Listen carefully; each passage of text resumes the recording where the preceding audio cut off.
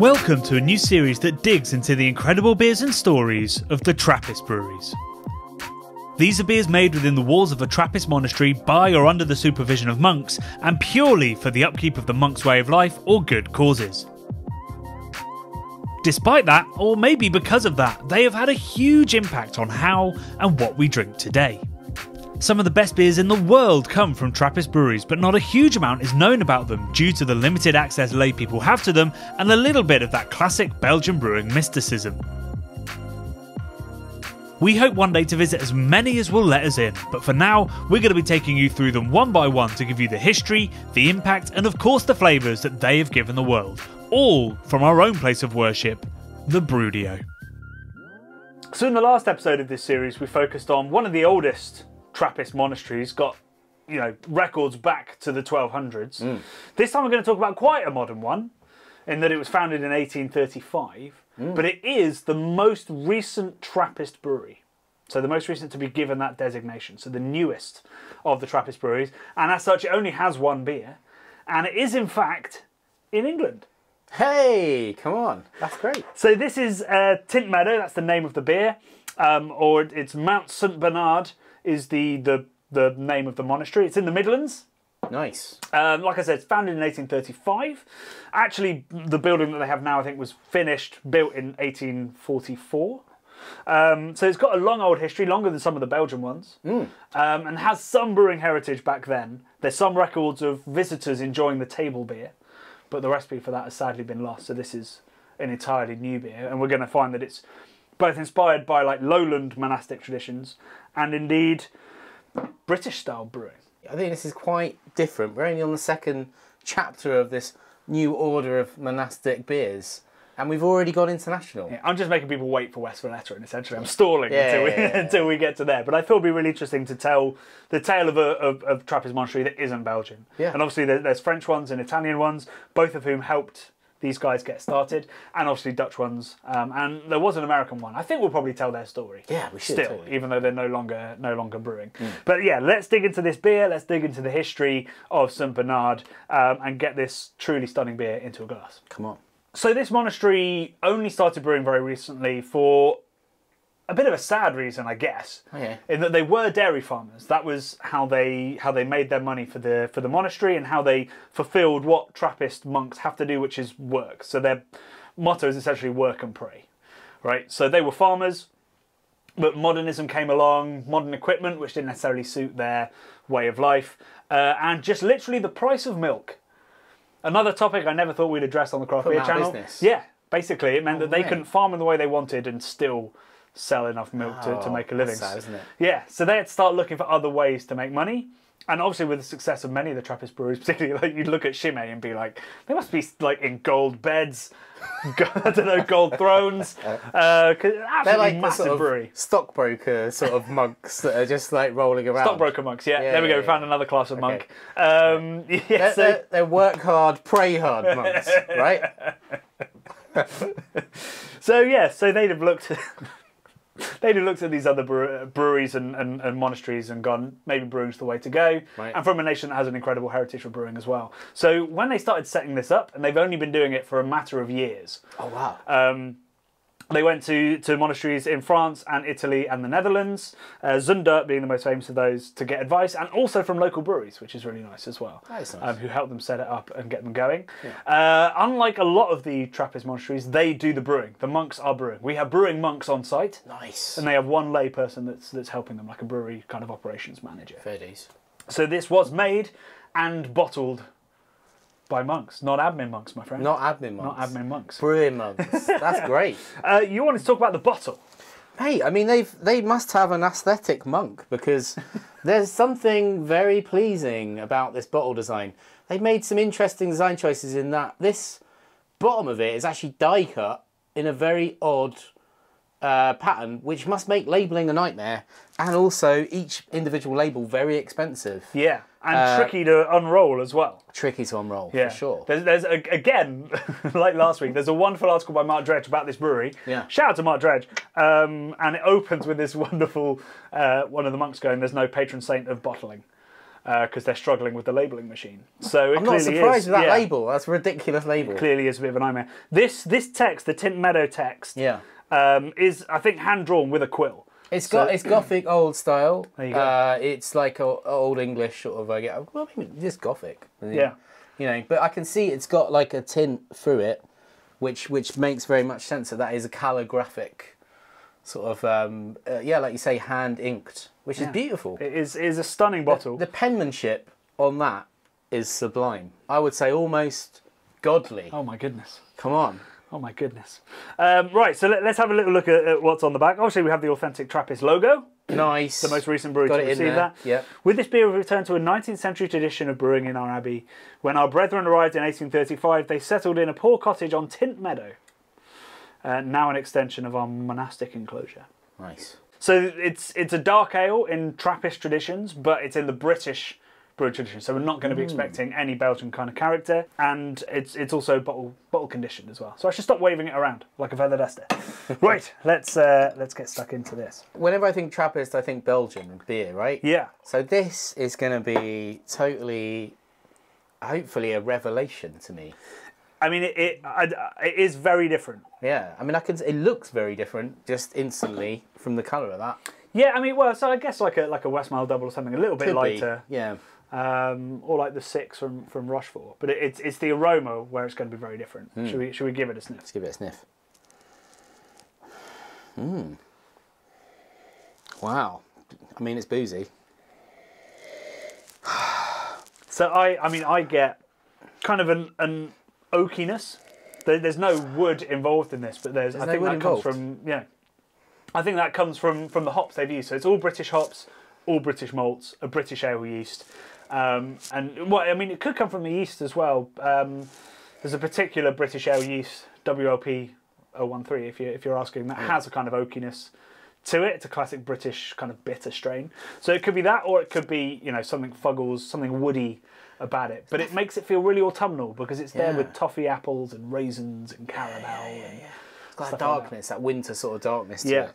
It's got a little bit of like a port kind of thing to Yeah, it as well. and then right? that booziness you're talking Yeah. about. Like, I, I, I think this is a relatively young bottle. Um, you know, I don't know how, what kind of date they put on this, but this, this goes out of date in 2024, February. Um, so it's got at least two years to go. Yeah. Um, so it's probably quite a fresh bottle, but we're still getting some kind of sh- sherry port kind of character to it. Wow. It's really alluring. Like it's it's kind of almost split. You know, there's a dichotomy to it. You've got real savoury, earthy oakiness, and then you've got loads of sweetness that comes through as well. I feel like it's almost like a sort of peaty whiskey. Yeah, almost, yeah. As well. Very complex. Yeah, it is really really complex. It says serve at nine degrees, uh, so just under cask scale temperature. So it, this is probably a little bit chill. Warm it up a little bit. yeah. Um, so they're, they're expecting those kind of characters to come out. They're looking for that because that will come out a little bit warmer. Should we give it a go? Come on. Almost smoky. There's there's loads of savoury character to that. Wow. like kind of burnt caramel, definite oak, leathery almost. Yeah, yeah. Um, How is there no wood involved in this? This I know like- it is kind of remarkable, and I crazy. get that with really aged beers quite often. You like, I get like tequila and white oak and and all these kind of flavors that feel like it's been in a barrel, but it but it hasn't. Which might be you know, the strains of yeast might have that character. Definitely, if you age the hops, you know. If you're not using super fresh hops, you'll start to get that woody, literal kind of bine character, like chewing on the stalks of grapes. And it's really nice with the huge sweetness that's also there in the malt. You know, it, it's carefully balanced. Um, it could have gone either way a little bit much, and maybe I'd want a little bit less savouriness and a little bit more body and character. But it does mean that at 7.4, it's still a wonderfully drinkable beer. You know, you wouldn't think twice about drinking more of that, and you, you No, might end up in a little bit of trouble. Oh, 100%. It's it's really interesting, Jonny. It's quite different, I feel, to to a lot of the other sort of monastic beers that I've had. Hmm. I mean, it has for me. It's it's like a really strong ESB. Yeah. You know, I, I, this is only in bottle. I'd love to see it on cask. So is that How special would that be? Ah, because that would amazing. enhance the sweetness Yeah. as well and really bring it into balance. I think. yeah. So is that? I mean, is that you're saying it's it's a it's almost like a meeting of minds. You've got the sort of continental European thing, but then you've also where they've been you know a bit of influence, but they've also been influenced by traditional British brewing. And is that where that kind of bitterness is coming from? Yeah, I think they've de- they've definitely amped up the hops. They've definitely dialed back the sweetness, but they've kept the ABVs um, of of these Belgian and, and, and Netherlands kind of breweries. So you end up with something that's a little bit hard to define from a British Yeah. ale standpoint, even though it's all British ingredients. I mean, the closest thing you'd say is old ale, potentially barley wine. You know, but barley wine would tend to be probably a little, like modern wise, be a little bit more sticky, a little bit more caramelly. Yeah. Um, yeah, yeah. This is, yeah, actually, I, I guess quite close to like Golden Pride or something, just a bit darker. So it, it, it is its own thing, and I bet they really went for that when they wanted to make this. Um, that sort of sits in between Belgian and, and British style dark ale brewing. It's an interesting choice, isn't it? Because I don't think instantly uh, people that love Belgian sort of beers would would like be gravitate towards this and enjoy this. But it's it's as big as some of them, mm. but it, it has more. You know, it's not got that kind of sweet clawingness to it. I think you know people people often think of like Trappist beer as a style, Yeah, and it's really not. I mean, it never really has been. I mean, if you if you look at the difference between like Orval and Rochefort Ten, or even like you know Westvleteren Eight is a jet black, slightly roasty beer compared to like a Westmalle Double or or a Chimay Blue, which is like the middle one, which has entirely different character. Those so it's Trappism isn't a style. It's obviously it's a way of life. It's it's a religion um, that has in the lowlands led to a certain kind of culture. Uh, in Italy, France, the Netherlands, led to a certain culture. You go over to Spencer Brewery, the American one, Hmm. they made an IPA. You know, it is very much dependent on what that what the market wants. You know, Yeah. their literal reason for brewing is to raise money for the monastery, so they're going to have to brew what people want. capitalist monks. Ca- capitalist monks. so, you know, I think they probably brewed what they thought would be successful in this country. Yeah, Uh, to the size that they need to. It's a very small. It must be the smallest of the Trappist breweries. yeah, yeah. by far. Um, and partly because it's young, but also because I think maybe they don't need as much. It's a slightly different setup to the much bigger monasteries that started much bigger. You know. Um, so yeah, it, it is influenced by Belgium, but it is very, very different to those. Um, so we have to remember that Trappism, in terms of brewing, is not a style. Um, it's created styles, and maybe it's created one here, which is or revamped the old ale. yes. Um, but yeah, I mean, I'm sure that the other Trappist monasteries were like, "This is great. It's a new style made by a Trappist brewer. We're not going to be treading on each other's monkey toes, sandaled toes. Monkey I don't know what they wear on there. Monkey toes. Monkey toes. Yeah, so I, I think it's fascinating. I love that it's really based in English ale tradition. Yeah. Uh, I love you know any country that and so there's 156 Trappist monasteries, I think, and and you know pretty, less than one in ten of them brew beer. Lots of them make chocolate, greetings cards, cheese, bread, whatever it is. I'd love to see more uh, Trappist monasteries brew around the world because then we'd see more Different styles variation. emerging. Exactly. Do you think greeting cards monks are just they're just the hands are just paper cut nightmares? I think the I think the the bottling line monk his hands are paper cut nightmares with this label. Yeah. Well, I think um, they have a machine. I don't think he's there with scissors Come on, each label. Come on, come on, why not?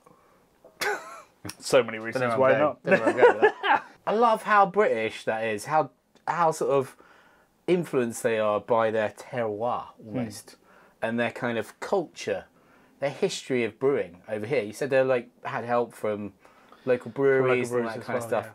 I feel like you can really taste it, and I guess that is kind of. Uh, you know, maybe what religion and stuff is about is about kind of being at one with your environment and uh, and appreciating the good things that are around you, and that might be the specific kind of mm. yeast that they've used that's over here or whatever it might be, right? But it, I feel like you taste the land that it's from. It's, it's interesting to think when they started out on this journey, building the brewery, coming up with a recipe. did they understand the weight on their shoulders, the expectation that would have been there with Yeah. with launching a Trappist beer? Because people have not only very high expectations because the quality of most of them has been incredible, but also they have expectations of what it's going to taste like, look like, how it's going to be bottled, how it's going to be received, where it's going to be sold Yeah. All of these things, and they've had to deal with all of that. And I think they've done a wonderful job by making it an old school British ale, just dragging in influences from the other um, Trappist breweries around the world. It's a beautiful thing. I want to go there for Christmas. Right. I feel like this is autumnal, wintry. Hmm. You know, get some of the uh, Belgian monks bring some of their cheese across. We'll have Sure. a ha- hands across the, the sea kind of thing. Why are you the facilitator of I this? don't know. Why? I You don't know, know. sat there like in the Last Supper, like yes, Br- I'll be in the middle. I'm not saying I'm the bit. You're the beer Jesus, obviously. No, no, that's uh, that's Uh, Greg Koch of, uh, of Stone. Oh yeah, he is Yeah. the beer Jesus. Yeah, yeah, yeah. Um, yes, well, maybe that will happen. It won't happen. Um, but this would be a delicious, delicious beer to have with that and show variation. Um, I hope they bring out more beers. I hope maybe there's a summer version of this. You know, Yeah, a blonde version would be great to see. Yeah, yeah, yeah. Um, so maybe that's in the works. I really don't know. Maybe we should go visit them. They have let people in. They have a guest house you can stay. So maybe it will happen. Um, but yeah, that that is the British Trappist Brewery. Uh, Cracking. I absolutely love it. Good. I'm glad. Well, we'll see where we end up on the next episode. All right. Cheers. Cheers.